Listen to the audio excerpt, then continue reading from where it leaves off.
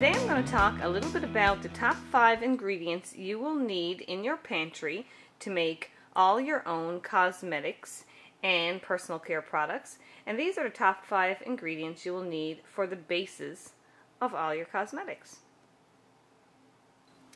So first off, and probably the most important, is some sort of wax. I prefer to use beeswax, and I bought this one pound block several years ago, and it was probably an extra two inches longer than this, and it's lasted quite a long time.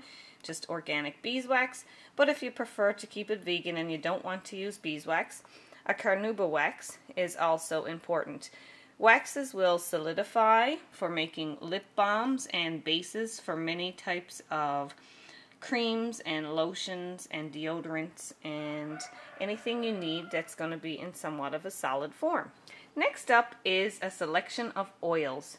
Now you can choose any oils you like based on your skin type and what you would like to have in the base of your cosmetics.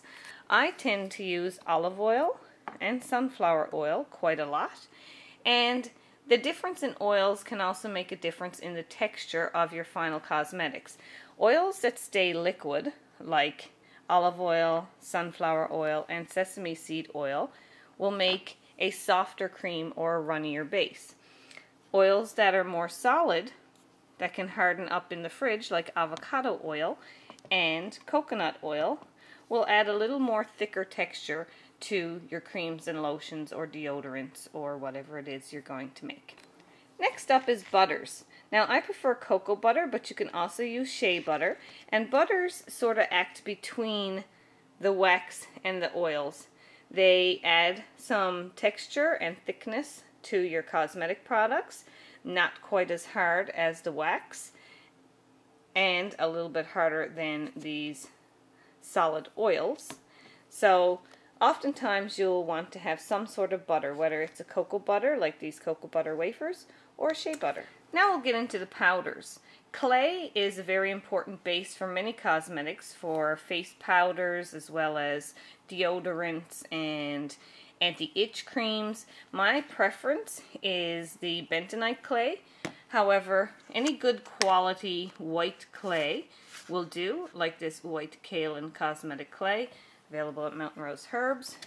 So a good quality clay is a good replacement for talc, which can be very irritating to the skin and can contain asbestos and is not healthy. So you'll want some sort of clay to make your powders and your dry bases for your cosmetics. And lastly is starches. Now, you can use organic cornstarch in many cosmetics, but be sure that it is organic and it's not as beneficial to your skin as a starch like arrowroot powder. So my preference is the arrowroot powder and you will need starches again for powders and dry bases and deodorants and anything that you want to go on smooth and powdery that doesn't have quite a greasy feel as just a standard oil-based cosmetic. If you're making your own cosmetics and you're looking for a collection of base ingredients, look for good quality organic ingredients. It still ends up to be a, a lot cheaper than buying pre-made cosmetics and it's much healthier for your skin. And be sure to store your ingredients properly. You want to keep oils in the refrigerator after they've been opened so they don't go rancid, especially nut oils or seed oils. I also keep my butters in the refrigerator. Beeswax and carnauba wax can be just kept in any pantry, as can the powders. So that's it for this Top 5 Tuesday. If you're collecting some cosmetic base ingredients, these are the top 5 ingredients you want to look for. That's a starch, a clay, a wax, some oils, and some butters.